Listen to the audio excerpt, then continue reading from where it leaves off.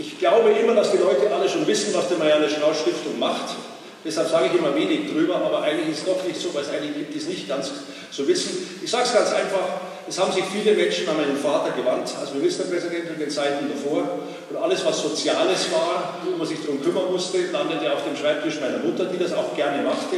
Sie hätte selber gerne irgendwo Karriere gemacht, aber mit dem Mann an der Seite ging es einfach nicht. Und so war sie ja der inoffizielle Beruf des, der Landesmutter, das kriegt der Freistaat immer mit, ohne Gehalt. Die fährt dann wohin, die eröffnet Altenheime, die geht zu verabschiedet den Sonnenzug, die macht die unterschiedlichsten Veranstaltungen. In den Jahren vor meiner Mutter war es oftmals so, dass es eher repräsentativ war. Da hatten wir eben an Weihnachten einmal ein Altenheim besucht und das war die Tätigkeit dann. Meine Mutter hat es anders gemacht. Sie war also in der Caritas aktiv, in der Multiple Sklerose Stiftung. Sie war Stiftung Pfennigparade in diversesten Aufsichtsräten, Stiftungsräten. Und viele Leute haben meine Mutter angeschrieben und gesagt, was, wenn sie, wenn sie Not hatten, der große Strauß kann doch helfen. Ja, das landete bei meiner Mutter und dann 1984 am 22. Juni, nachdem sie tödlich verunglückt war, war die Frage ganz erstmal praktisch, geht das überhaupt weiter oder geht es nicht weiter? Alle Augen richteten sich zunächst auf meine Schwester, weil klar war, die würde meinen Vater von da an begleiten. Aber begleiten plus Ehe plus Studium plus also das auch noch, das war ganz klar, es geht nicht. So wurde die Marianne Strauß Stiftung gegründet. Liebe Elke, eine Kollegin im Vorstand, Elke Gräfen Glückler, toll, dass du da bist. Vor 31 Jahren haben wir uns in die Hand genommen und seither ähm, marschieren wir zusammen in unserem Stiftungsrat gemeinsam, haben die Stiftung aufgebaut. Im letzten Jahr haben wir 1500 Fälle bearbeitet, 1100 Fälle unterstützt, Gesamtsumme 800.000 Euro. Wir erhalten keine staatlichen Gelder, sind aber stolz und froh, dass wir eine Kooperation mit Sternstunden vom Bayerischen Rundfunk haben. Also wenn jemand Sternstunden anschreibt oder den Bayerischen Rundfunk anschreibt und sagt, ich habe ein krankes Kind, gesammelt doch für kranke Kinder, dann landet das bei der Marianne Strauß Stiftung. Wir erhalten dafür die Gelder vom Bayerischen Rundfunk, von Sternstunden genauer gesagt. Auf der anderen Seite tragen wir die gesamten Verwaltungskosten. Verwaltungskosten kann die Stiftung auch deswegen tragen, weil sie in den letzten 30 Jahren eigenes Vermögen aufgebaut hat, aus dem heraus sie die Verwaltungskosten tragen kann, sodass eingehende Spenden eben zu 100 Prozent an die Fälle gehen. Also wir ziehen von den Spendengeldern des heutigen Abends für Verwaltungskosten der Stiftung, die einfach da sind. Wir haben ein Büro, wir haben Mitarbeiter, müssen wir nichts abziehen.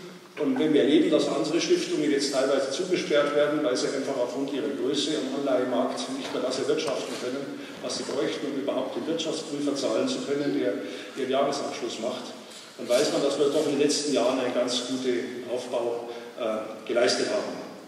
Wenn Sie also möchte ich auch sagen, Fälle wissen, wo man unterstützen müsste, ist keine Einbahnstraße, sondern wir werden auch von Spendern angeschrieben, die dann einen Fall in der Nachbarschaft, in der Schule oder sonst haben und sagen, könnt ihr da nicht helfen? Neueste Themen sind die ganze Thema, Thematik äh, Asylanten. Also wir dürfen uns ja auch nicht versperren der Tatsache, dass eben jetzt mittlerweile ja überall in den Straßen München sichtbar ist, dass die Asylanten immer mehr werden. Die haben oft nur das am Leib, was sie tragen. Neue Fragestellung an unsere Stiftung. Ist zwar ein Hilfsfall in Bayern, aber es ist ein bayerischer Hilfsfall. Also es kommen immer wieder Fragestellungen auf uns zu und wir dürfen alle die Augen nicht verschließen, dass es uns alle letztlich im Verhältnis zu diesen Herrschaften, zu diesen Leuten sehr, sehr gut geht. Jetzt komme ich aber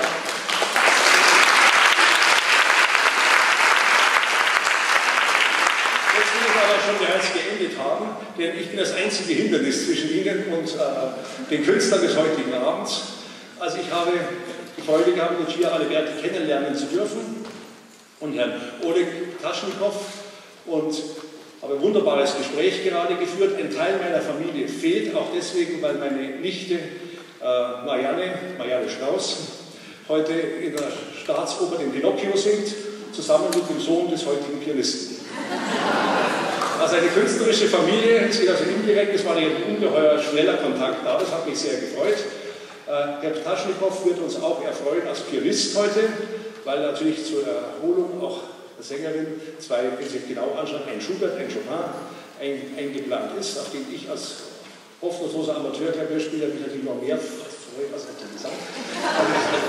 Ich freue mich sehr darüber und wünsche jetzt einen wunderbaren Abend. Herzlichen Dank, dass ihr gekommen seid, dass Sie gekommen sind.